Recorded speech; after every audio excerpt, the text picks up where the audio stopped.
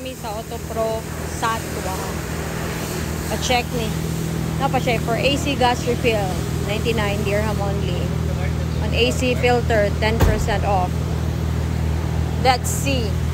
AC leak, init mo daw kayo? AC leak? Yeah, maybe there's a leak. No, you can check. Not maybe. See here. No? This valve leaking. Tanawa ko na rin. The bulb? The that's pink one? Bulb is leaking? AC bulb. Yeah, valve is leaking. AC bulb leaking. Kuno ko yun. This one, this one not leaking. Yeah, see how it This one not leaking. The other one, this Yeah. are low, no? No leaking. No That's leaking. it's High is leaking. leaking. Yeah. This one, is see dry. No oil. this is, yeah, this is wet. This is dry. Yeah. So, you feed gas, it will not last like that. You on AC? Stay on? AC on. No gas. Huh? No gas inside. No gas. Check with me. You mean gas freon? Freon, no. Ah, kulang? Freon, Freon, that is Freon. gas. I don't know. Sorry. I don't get it. No, no free on anything. Because of the leak. Oh, it evaporate the freon because of the leak. Ano lang, may bawaan mo kaya ano, basa ang iyang tabon, no? The who? Hose. Yeah, come. See this one. Okay. Not yet also. Penta is not uh, AC gas. AC.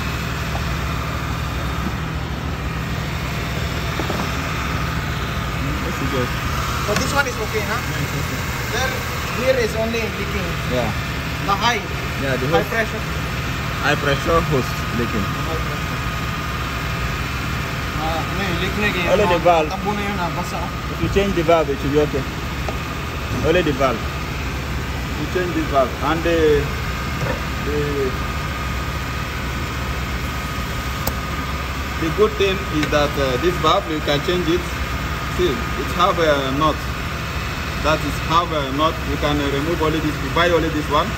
They will use the uh, screwdriver and spanner.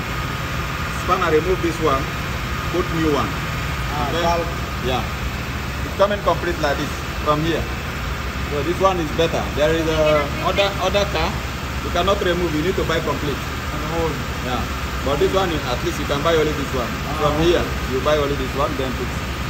You want gas now or But, uh, if you fix now, maybe uh, I don't know how many days, how many months it will take. It will still go down. But it will cool. it will cool like It will cool. Why not? It will cool, but only that it will uh, still go down. Ah, may evaporator daw, may evaporator. Okay, how much we uh, pay? 99 dirham. 99? 99. Before it was 174. Bukahan na itong kulay, pre, kabot nila bugnaw ang auto. Yeah, yeah, you put it, brother. Put gas. Yeah, yeah, yes, yes. It's cooling now? Don't worry, it will cool. It will. Yeah, it's cooling now. It's cooling. It's cooling. Kapo na. Yeah, I can feel it. Because of the freon. Yes. The power of the freon. But isarado daw ang window. Malakang nyo ka. Grabe sud oh. Sulod rin eh. Sulod rin ba? Nakadigang initan.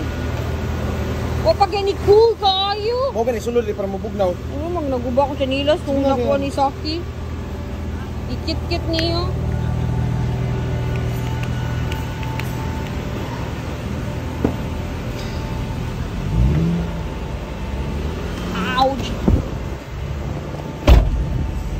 Uy, kakumot ano niya dyan.